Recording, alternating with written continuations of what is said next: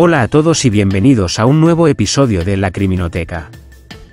Hoy nos sumergimos en la sombría historia de un hombre cuyas acciones dejaron una marca indeleble en la historia de Italia. Un individuo cuyo nombre, aunque quizás no sea tan reconocido como otros, evoca el terror y la tragedia en la región de Liguria. Estamos hablando del infame asesino en serie Donato Bilancia, conocido como el monstruo de Liguria. Donato Bilancia, nacido el 10 de julio de 1951 en Potenza, Italia, surgió como uno de los asesinos en serie más temidos de la historia italiana. Su escalofriante modus operandi, impulsado por una mezcla de venganza, juego compulsivo y robos, le llevó a cometer una serie de crímenes atroces que conmocionaron a toda la nación. Durante su reinado de terror en 1997 y 1998, Bilancia sembró el caos en la zona de Liguria, dejando un rastro de muerte y destrucción a su paso. Con un revólver calibre 38 como su arma de elección, acabó con la vida de al menos 17 personas inocentes, incluyendo a parejas, cambiadores de dinero y prostitutas. Desde sus primeros crímenes, pasando desapercibidos como suicidios, hasta sus brutales ataques a trabajadoras sexuales, la escalada de violencia de Bilancia dejó a la población aterrorizada y a las autoridades desconcertadas. Sin embargo, su reinado de terror llegó a su fin el 6 de mayo de 1998, cuando fue finalmente detenido en su apartamento en Génova. Tras su arresto, Bilancia confesó fríamente sus crímenes, revelando los detalles espeluznantes de sus acciones. Finalmente, el 12 de abril de 2000, la Corte Suprema de Génova dictaminó su destino. Trece cadenas perpetuas por sus horrendos actos, poniendo fin a la pesadilla del monstruo de Liguria. Únanse a nosotros mientras exploramos los oscuros recovecos de la mente de Donato Bilancia y desentrañamos los horrores que dejó a su paso. Esta es la historia de un hombre cuyos crímenes aún resuenan en los anales de la historia criminal italiana. Comenzamos. Donato Bilancia. El monstruo de Liguria. Clasificación, asesino en serie. Características, jugador compulsivo, venganza, robos. Número de víctimas, 17. Fecha del crimen, 1997 a 1998. Fecha de detención, 6 de mayo de 1998. Fecha de nacimiento, 10 de julio de 1951. Víctimas, Giorgo Centanaro de 58 años, Mauricio Parenti y su mujer Carla Scotto, Bruno Solari y su mujer María Luilla Pitto, Luciano Marro, Gian Giorgio Canu de 52, Bodejana Almerina, Ludmila Zubskova, Enzo Gorni, Massimo Gualillo y Cándido Rando. Evelyn Esoe Endogalle de 27, Elisabetta Zoppetti de 32, Mema Balbona, María Ángela Rubiño. Y Giuseppe Mileto de 51. Método del crimen, arma de fuego, revólver calibre 38. Lugar, zona de Liguria, Italia. Estado, condenado a 13 cadenas perpetuas el 12 de abril del 2000. Bilancia nació en Potenza el 10 de julio de 1951. En 1956 su familia se trasladó a Génova. Creció con la dificultad de las relaciones con su familia y se dedicó al robo. En 1975, fue arrestado por hurto y, en 1976, entró en la prisión, de la cual escapó meses después. En 1982 su hermano se suicidó, junto con su hijo, lanzándose a las vías del tren de la estación de Génova. Este episodio marcó a Donato, lo que provocó que sus desórdenes mentales no volvieron a su sitio nunca más. A ello, se le añadió un accidente de coche en 1990, que le provocó un coma profundo durante varios días. Una vez recuperado del coma, comenzó a aficionarse al juego, ganando grandes sumas de dinero, aunque cuando perdía mantenía su palabra de pagar todo lo que debía. En los lugares clandestinos de juego era conocido como Walter. Primeros asesinatos. Se puede datar que el primer asesinato de Bilancia fue el 16 de octubre de 1997 cuando acabó con la vida de Giorgio Centanaro en su casa, asfixiándolo con una cinta adhesiva. A pesar de lo extraño de la muerte, los carabinieri cerraron el caso concluyendo que se había suicidado, ya que no encontraron ningún indicio de asesinato. No sería hasta el arresto de Vilancia cuando confesaría el crimen, argumentando que Centanaro se burló de él en una mesa de juego. Tan solo pasaría una semana antes de que volviera a matar. Concretamente, el 24 de octubre de 1997 acabó con la vida de Mauricio Parenti y su mujer, Carla Escoto en su casa por las mismas razones que le habían movido a matar a Centerano, ya que Vilancia creía que ambos eran socios. Además, Vilancia robó de la casa 13 millones de liras, cerca de 6.500 euros, y otros objetos de valor.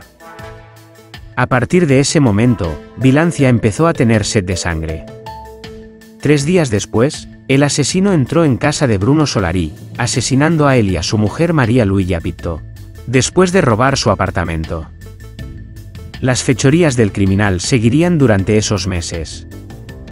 El 13 de noviembre de 1997 mató a Luciano Marro, un cambiador de dinero que vivía en Ventimiglia, robando 45 millones de liras unos 22.500 euros, y el 25 de enero de 1998 hizo lo mismo con Gian Giorgio Canu, guardia de seguridad nocturno, en Génova. Su único motivo fue vengarse de los cuerpos de seguridad, que lo habían metido en prisión. Asesino de prostitutas. Después de acabar con la vida de personas sin un perfil determinado, Vilancia empezó a declinarse hacia las prostitutas. Su primera víctima de estas características ocurrió el 9 de marzo de 1998, disparando a Estela Trulla, un prostituta albanesa en a las que siguieron la ucraniana Ludmila Zubskova, 18 de marzo de 1998 en Pietra Ligure, y la nigeriana Tessia Dobo, 29 de marzo en Cogoleto. Aparte de estas víctimas también figura la muerte de un cambiador de dinero en Zogorni el 20 de marzo cerca de Ventimiglia. La única prostituta que pudo escapar de las manos de Vilancia fue una transexual llamada Lorena Castro el 24 de marzo en Novi Ligure. Castro escapó de la muerte y fue a avisar a dos guardias de seguridad, Massimiliano Garillo y Cándido Rando, que murieron por las balas de Vilancia. La muerte de la nigeriana Tessia Dobo puso sobre aviso a las fuerzas policiales, que empezaron a encontrar evidencias y conexiones entre el asesinato de Estela Trulla y de las siguientes mujeres. Gracias a los estudios de balística de la RIS de Parma, que evidenciaron que todas las balas correspondían a una sola arma. Se crea el mito del monstruo de Liguria. Poco a poco empezaron a conocerse más detalles del criminal, gracias principalmente al testimonio de Lorena que fue capaz de dar detalles sobre el Mercedes negro conducido por el asesino y confeccionar un retrato robot del monstruo.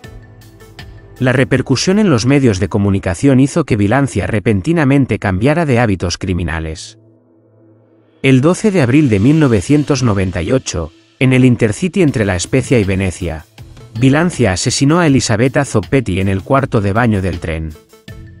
Dos días después, pondría fin a la vida de otra prostituta, Cristina Valla, y el 18 de abril mató a María Ángela Rubiño en el tren entre Génova y Ventimiglia. El monstruo de Liguria se convirtió en el principal tema de los programas de televisión y periódicos, por lo que se redobló la vigilancia en los suburbios y los trenes. Algunos sospechosos fueron retenidos y se tuvo bajo vigilancia dos coches que coincidían con la descripción dada por Lorena. De todas maneras, el 12 de abril en Arma d'Itagia, Vilancia roba y mata a su última víctima. Un trabajador de una gasolinera llamado Giuseppe Mileto. Arresto de Vilancia. El punto de inflexión de las investigaciones llegó cuando los carabinieri obtuvieron información sobre una Mercedes negro que coincidía a la perfección con los datos proporcionados por Lorena. Fue así como se obtuvo información de Vilancia. El temible asesino fue arrestado el 6 de mayo de 1998 en su apartamento de Génova, donde se encontró la Smith y Wesson del calibre 38 con la que asesinaba con 50 balas. Vilancia, con total frialdad, relató con detalle cómo había matado a todas y cada una de sus víctimas. El 12 de abril del 2000 el Corte Suprema de Génova condenó a Vilancia a 13 cadenas perpetuas por las muertes y 16 años más por el intento de asesinato de Lorena Castro. El caso de Donato Vilancia, conocido como el monstruo de Liguria, ofrece una ventana inquietante a la mente de un asesino en serie y los diversos factores que contribuyeron a la escalada de su violencia. A través de su historia, podemos extraer importantes lecciones sobre la psicología criminal, la prevención del crimen y la respuesta de la sociedad ante el fenómeno del asesinato en serie. En primer lugar, la infancia y el entorno social de Vilancia desempeñaron un papel crucial en la formación de su personalidad y comportamiento delictivo. Su relación conflictiva con su familia, el suicidio de su hermano y las experiencias traumáticas marcaron su desarrollo psicológico y lo llevaron por un camino oscuro de resentimiento y violencia. Además, el juego compulsivo de Vilancia actuó como un catalizador para sus crímenes, proporcionándole tanto una vía de escape como una fuente de ingresos para financiar su estilo de vida. La adicción al juego exacerbó sus problemas financieros y su falta de control emocional, creando un ciclo destructivo que culminó en una espiral de asesinatos. El perfil de las víctimas de Vilancia también revela patrones interesantes sobre su psicología criminal.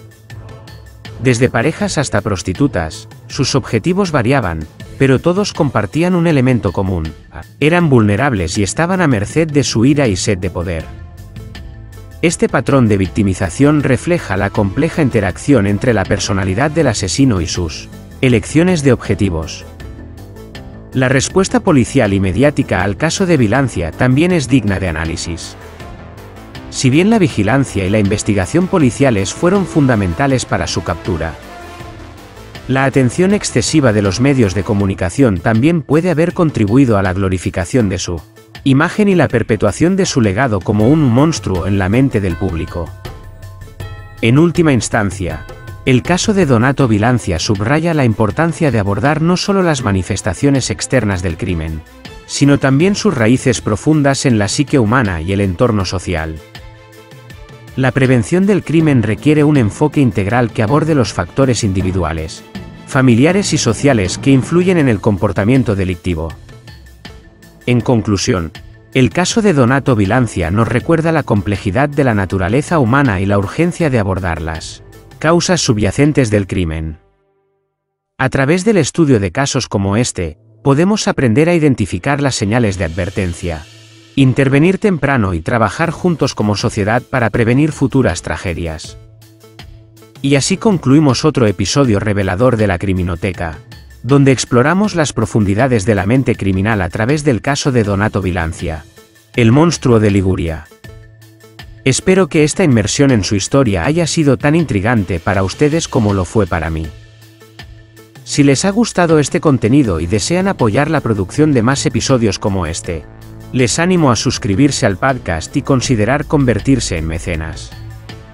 Su apoyo es fundamental para continuar investigando y compartiendo historias fascinantes como esta.